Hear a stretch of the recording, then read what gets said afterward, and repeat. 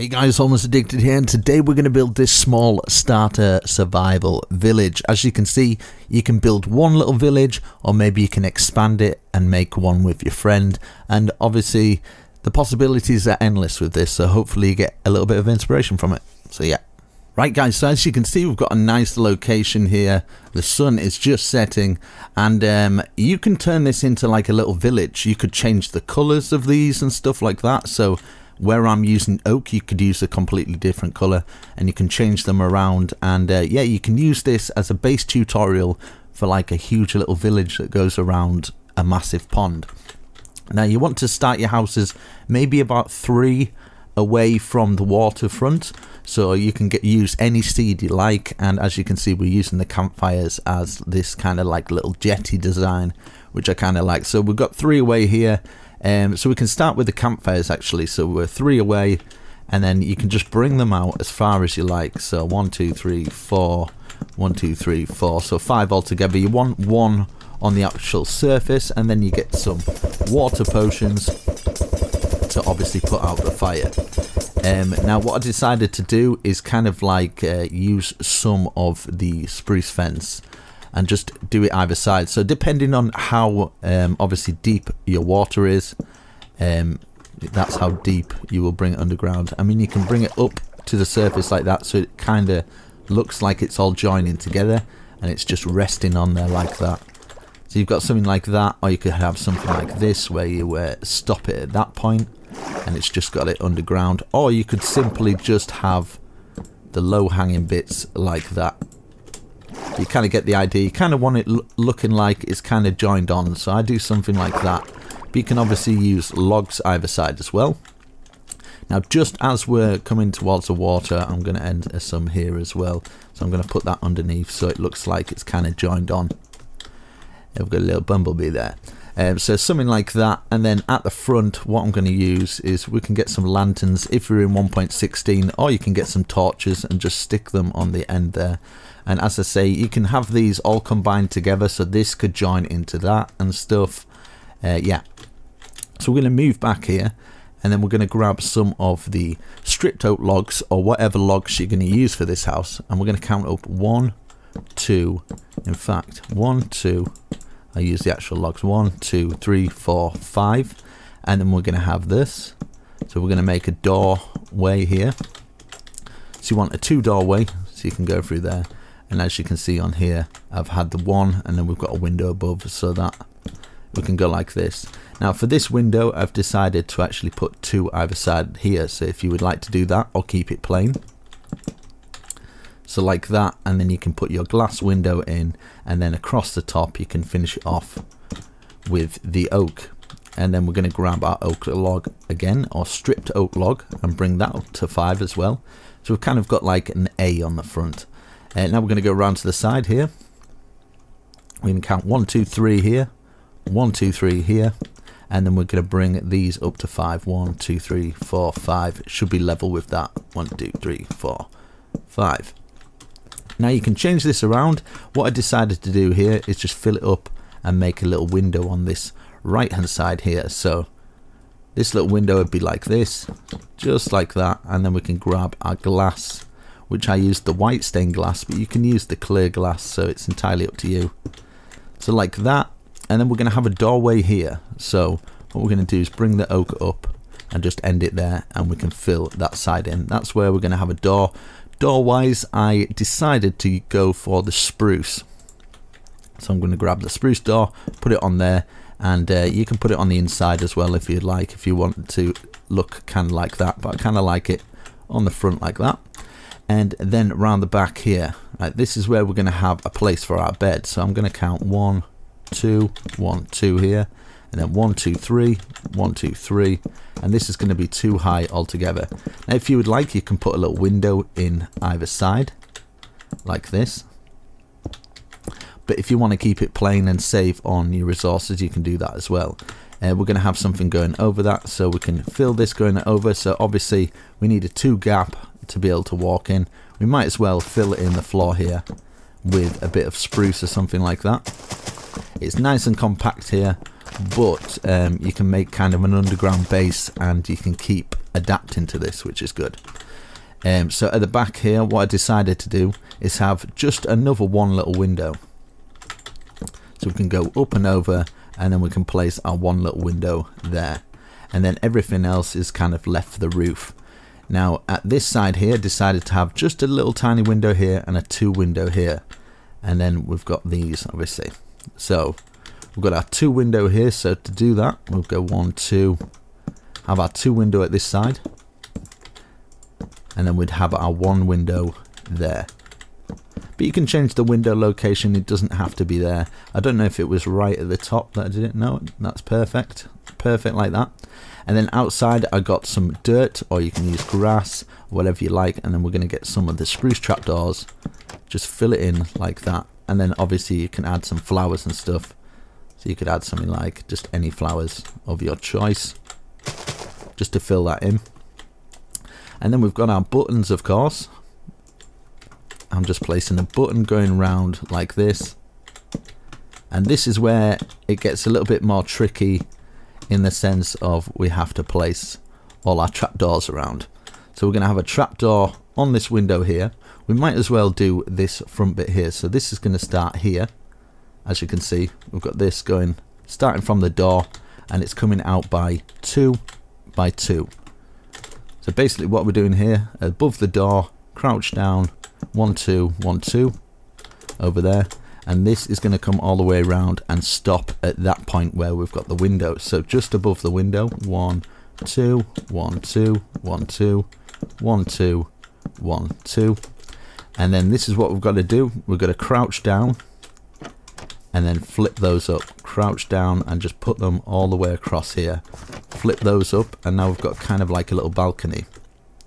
At the front here I only decided to do one two flip those up and then the rest of them we keep them open. So it's kind of like a bit more open plan so you can do your fishing. So say if we take one out here we need to take one out here and place um, like a little stair. You don't have to put that there. It's more for fancy really, so it kind of looks like you're fishing. But if you want an actual chair there um, that you can sit down and make one, maybe you can put a, a chest there. So from this point, you can do your fishing and stuff, and you can see your friend from over there. At this side, we want to close this up, so we crouch down like this. And as you can see, you can still get underneath there perfectly fine. Now we're going to start on the roof. Um, in fact, we'll do this first we'll get these. We need some kind of support pillars. So we crouch down. We want it underneath this one here. So if I close that you can kind of see where it is. So we've got one there and let's put another one under here. You probably have one supporting here. Now you can't get underneath this bit so to get in you're gonna have to go around like that. But for how it looks I kind of like it. So yeah there you go. So we've got that all open plan and done we've done that. Let's before we go onto the roof let's actually work on the little garden area. So we're going to count one two three four five starting from that pillar and one two three four starting from this pillar. Joining it together adding some grass in there. I mean if you don't want grass just by the window you can fill it up like that. And then just round the, the side of it we're just going to put some half slab just going round to this point here like that. So we've kind of got our little garden area. It looks nice. We've got our lanterns there and stuff. So you can put a lantern underneath there. So it kind of lights the place up a little bit. And uh, wherever you feel the lanterns would look good. Um, yeah, and obviously you can put your um, water source there. You can grow some sugar cane. Or simply if you just want to have like a little farm there. Or if you just want to put flowers there for something different you can do that so you can change it around and stuff. And if you're wanting like a little chair outside or something like that you could put something like this.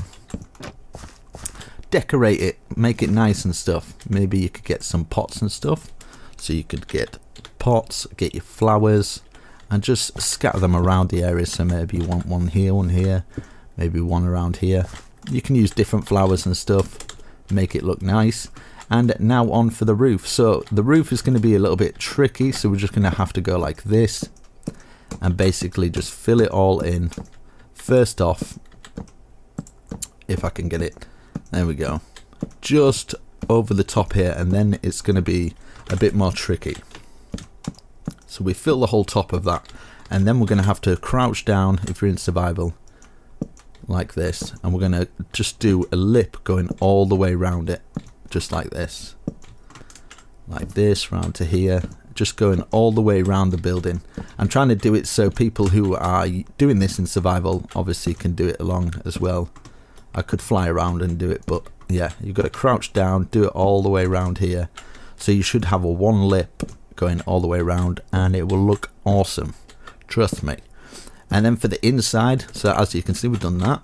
It's got a nice one lip going all the way around overlapping and stuff and we can do the same for here as well. So we can put these across here. First off we want these first six seven eight nine. And then we're going to put a one lip on these as well so you can get down outside like this around like that. And then across here because we've left that little gap there we should be okay. And then around here as you can see I've got like a little bush just for this little bit here but you can obviously add some bushes around say if you wanted a bush here or something like that. And then put like a thing around decorate it a little bit more. Put some flowers outside and stuff and some pots with some different flowers in like that. Make it nice. Make it your own you know? Then in here I'm just going to give you a quick tour of what I've done. It's just super simple really. You've got your bed all the way at the end here.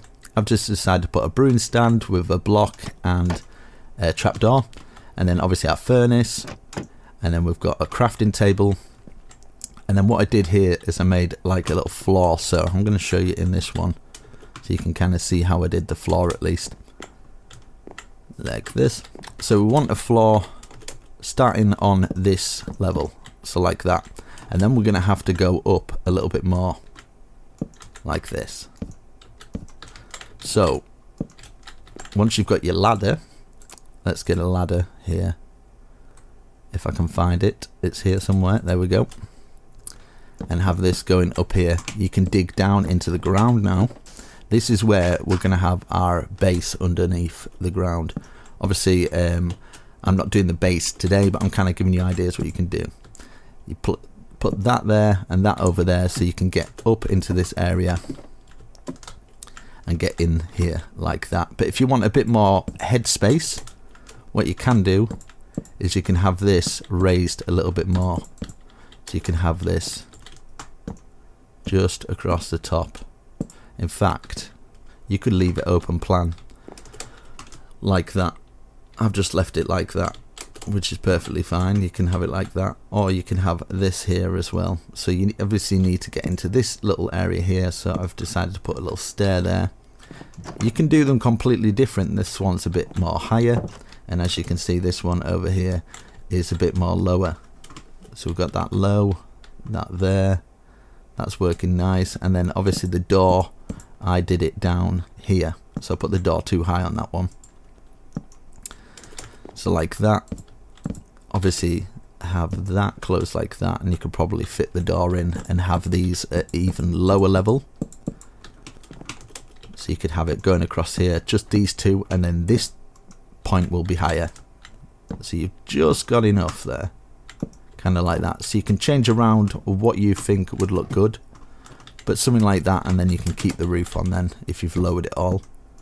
But yeah you can mess around with it until it looks good to you. And that's what it's all about. I'm just kind of giving you the template. So like that and then we can grab our door.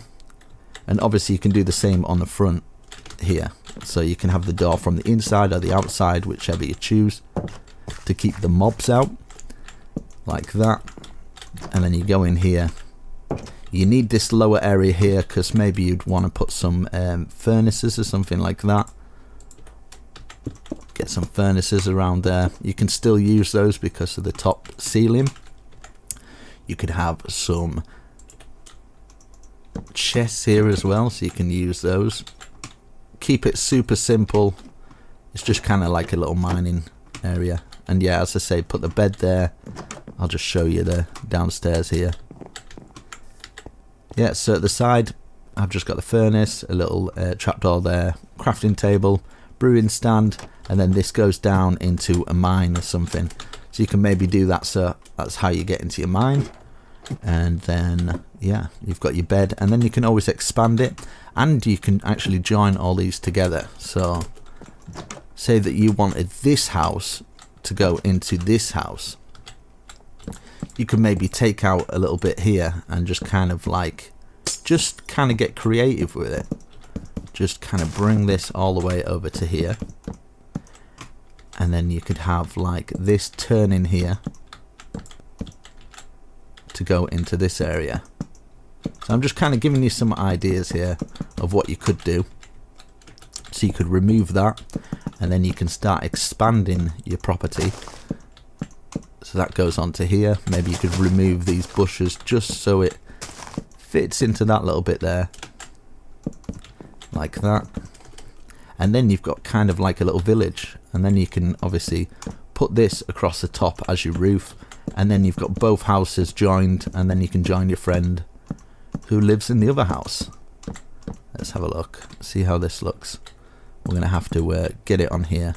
So you can use this as an extended balcony like this. So you've got that bit there and you can even do what you've done here but crouch down and then start expanding like this you know? Get it on like that going all the way around remove that one. You've got that it ends here and maybe you can put these on here and then you can get into this building from this area as well. So you've got like different ways you can go about it you know? You can even use these to uh, go up in some areas. It doesn't necessarily have to be all the same. Well, let's see. Let's get it there. There across here and stuff so you've got this so you can kind of use it for outside and stuff you can put some stuff here do you know what I mean? You can keep adding to it and then you can turn it into a whole little village where it's all connected and stuff like that. Uh, but obviously inside I'll show you what it's like. It's just a tiny little tunnel basically. And if you need more room out of the floor you could have the flooring like this. So it kind of goes down at this point and then you could fill in the floor from here if you want a bit more headroom. So there's always ways to expand it and make it your own. So we've got this going into here like this and then obviously we've got this bit here or you can get in by a different area make a bit more room around here let's get a little stair going up here and then you could have this bit going into here and uh, instead of that being a bed it can be something else. But you kind of get the idea of what I'm trying to go for here. And obviously down here where we've got this you just fill it in and stuff. But you can also expand at the back as well. So if you wanted to expand the property back here you could then start digging back there and have more uh, room and stuff I'll just fill this little bit off. But hopefully you got a little bit of inspiration from this of how you can connect different houses and stuff. And you've got your own survival start house as well. So yeah you can do all that. You can have these bits up here and then leave some bits open. Sometimes you have to remove that to do that. Have that to there. This is when it gets tricky so you're gonna have to like have it from here. So it like opens up and have different areas here. Let's crouch down. Um, so for something like this this would be a bit more tricky. So we'll crouch down like that to there. And then maybe can we have it going from here so we can turn it up like that? And just have the one turned up like that. And you have like little holes and stuff but that's fine. You can kind of take little holes out so it kind of like looks that way you know what I mean? But yeah you get the idea. You can do that sort of stuff and uh, yeah. But from the outside it kind of looks awesome. You can have little windows there as well so it doesn't look as plain. Have little windows here and then of course you can add like bush around the area make it look a little bit more organic. Like this. And yeah I think you've just now got a tiny little city and you just keep adding to it really and if you don't like this bit you can just take it all off and leave it all kind of plain. Just to give you some more ideas. Maybe you like it there and then you want it different at the other side. So you can just kind of experiment with some ideas yourself that you feel would work. So say if you didn't have the windows here in that one there and then you could have like a little fence going across here like this and maybe for this bit so it joints a little bit better you could have a block. So it kind of blocks it off makes it look a, bit more legit.